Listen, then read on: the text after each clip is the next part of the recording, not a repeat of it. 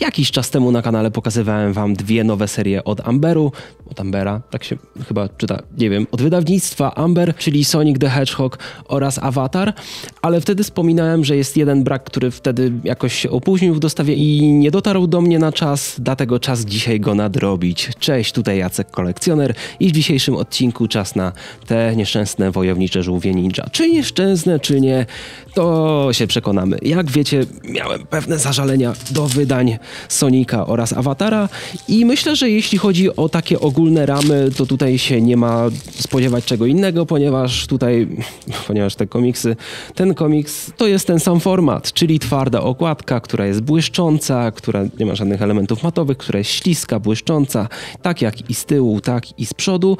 Jest to dosyć chudy komiks. Trzeba to przyznać. Mamy w środku 80 stron komiksu, aczkolwiek wydawnictwo Amber zapowiedziało już te spo, powiedzmy sporo tomów na najbliższe miesiące, ponieważ rzadko można widzieć coś takiego z tyłu okładki, żeby było napisane kolejne 5 tomów co dwa miesiące, czyli plan jest in progress. Dlatego już w tym odcinku nie zamierzam przykładać uwagi do tego, czy to jest słuszna forma wydania, czy jakby okej, okay, tu na ten temat można sobie podyskutować w różnych miejscach, na różnych forach, możecie też w komentarzach, a ja wam pokażę to, co mamy przed sobą. Wiem, że już teraz nawet wyszedł tom drugi, ale też jeszcze nieprędko do mnie dotrze. Cena okładkowa to 64,90. Jest to...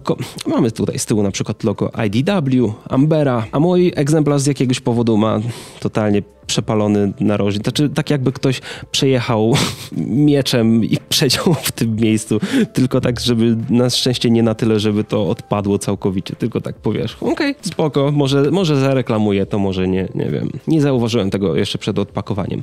Dlatego tak się prezentuje okładka i zajrzyjmy sobie do środka. W ogóle w ostatnich latach mieliśmy kilka komiksów z żółwiami wydanych w Polsce i oprócz jednego, o którym zapomniałem całkowicie, większość mam tutaj do porównania, więc do tego sobie przejdziemy zaraz. Wewnątrz mamy komiks wydrukowany na papierze kredowym. Mm, Powiem wam, że w środku jest całkiem solidna robota, formatowanie czcionka jest ok.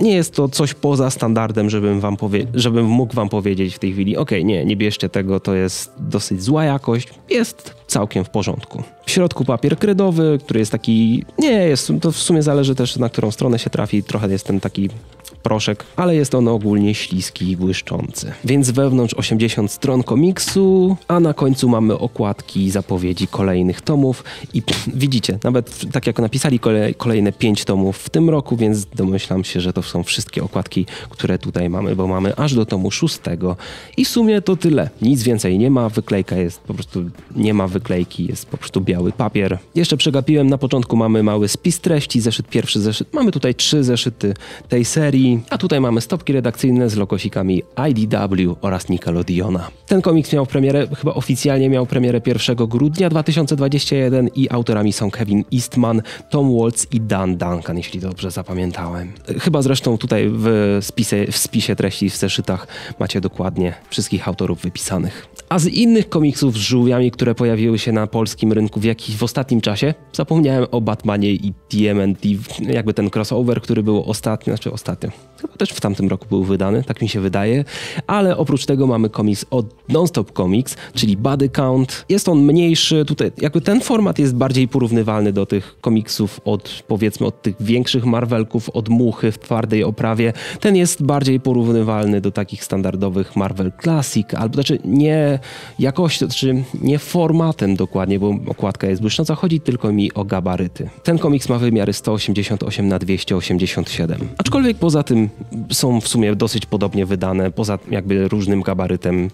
Też jest śliska okładka, też twarda, na grubość też jest podobnie, ale w sumie tak te żółwie są porozrzucane ostatnio, to znaczy ja wiem, to są główne żółwie, ok, Amber trochę wydaje rzeczy od IDW, ale wiecie, jedne żółwie były jedne, które, na które świat polski świat czytelniczy bardzo czekał jakiś czas temu, no ale wydawnictwo było, wydało jeden tom i tyle ich widzieliśmy. Żółwie, Ultimate Collection, tak, ten komiks został wydany, ten komiks istnieje, tylko w odróżnieniu od tamtego komiksu, no ten jest Ten jest, ten Ultimate Collection jest dosyć spory. Też jest wydany w twardej oprawie, ale jest potężnym, grubym komiksem, wydany przez wydawnictwo Fantasmagorie.